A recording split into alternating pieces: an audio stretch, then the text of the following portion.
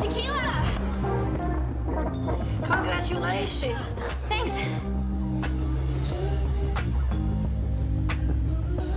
Uh, bullet ruts.